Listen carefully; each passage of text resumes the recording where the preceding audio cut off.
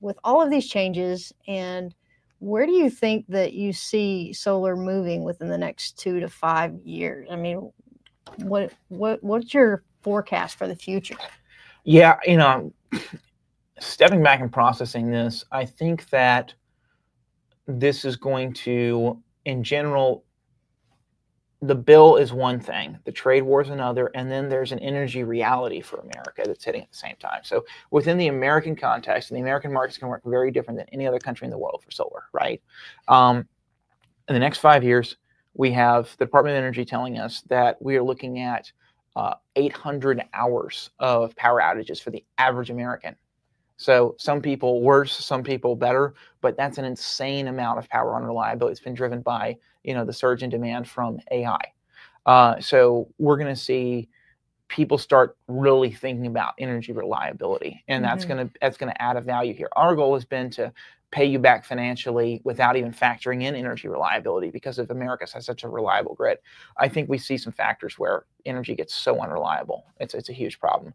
Uh, and uh, we also are going to see that demand drive up cost way past inflation. I think we're, people are going to be living in 5 to 15% imp, uh, cost increase years, which is going to just rapidly accelerate the payback on the stuff.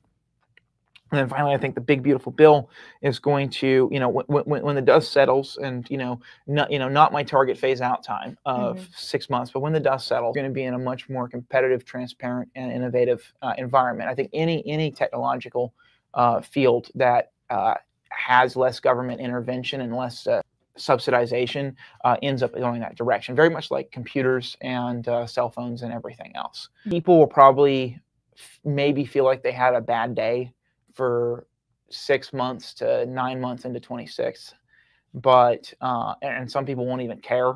And then by the end of 26 and into 27 uh, we're going to have you know kind of a, a demand level that we've never seen before because everybody's going to want it and when people like you guys go off grid and uh, you know you have your own independent system, you know it's it's going to say so much to your neighbors and friends that hey, energy independence is possible.